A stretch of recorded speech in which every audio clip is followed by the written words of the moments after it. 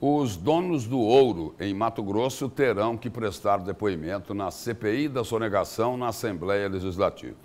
O ex-governador Silval Barbosa, que tem um largo conhecimento nessa área, já teve a convocação dele aprovada, mas a data da audiência ainda não foi marcada.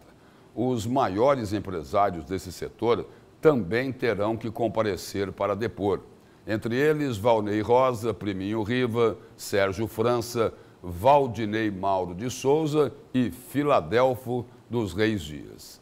Estes dois últimos até chegaram a ser sócios, mas depois se desentenderam e o caso foi parar na polícia.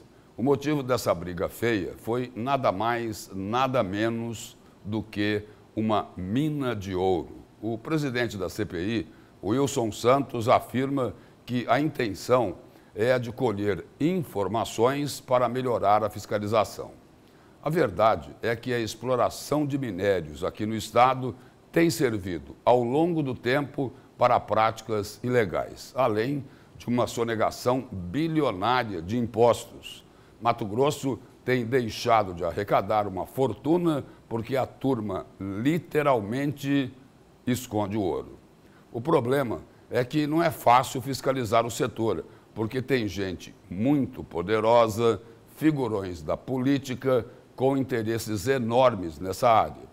Já se comentou muito por aqui que enchiam pequenas aeronaves com barras de ouro que eram despachadas para o exterior, para os países que são conhecidos como paraísos fiscais, que é o sonho dourado dos sonegadores, porque lá não precisam nem explicar a origem do patrimônio. Mas a CPI da sonegação está precisando avançar mais sobre os tubarões do agronegócio. Há muito tempo é grande a suspeita de um desvio bilionário dos cofres públicos fazendo maquiagem nas exportações. E é preciso ir mais fundo, porque até agora só apareceram as empresas fantasmas comandadas pelos famosos laranjas.